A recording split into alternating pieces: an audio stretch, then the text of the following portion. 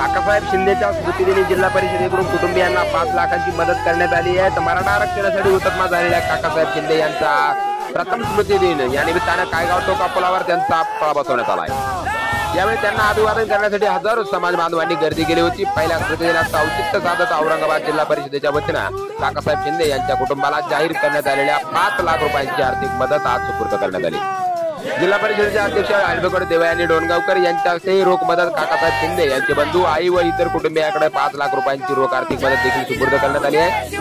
मराठा समाजाच्या आरक्षणासाठी गंगापूर तालुक्यातील कानडगाव येथील काकासाहेब शिंदे यांनी तेवीस जुलै दोन हजार अठरा रोजी हुतात्मा पत्करले होते. आरक्षणाच्या मागणीसाठी जनसमाधी आंदोलनाचा इशारा देखील देण्यात आला होता. त्यासाठी कायगाव टोका येथील गोदावरी नदीच्या पुलावर मोठ्या संख्येनं आंदोलक जमा झाले होते. शिंदे कुटुंबातील सरकार तरुण आधार गेल्यामुळे जिल्हा परिषदेच्या वतीने या कुटुंबाला पाच लाख रुपयांची आर्थिक मदत जाहीर करण्यात आली होती. जिल्हा परिषदेच्या सर्वसाधारण सभेत गेल्या वर्षी हा निर्णय घेण्यात आला होता. औरंगाबाद पुणे महामार्गावरील कायगाव टोका येथील गोदावरी नदीच्या हुतात्मा काकासाहेब शिंदे सेतूवर आज त्यांच्या स्मृतीदिनी काकासाहेब शिंदे यांचा पुतळा उभारत त्यांना श्रद्धांजली अर्पण करण्यात आली.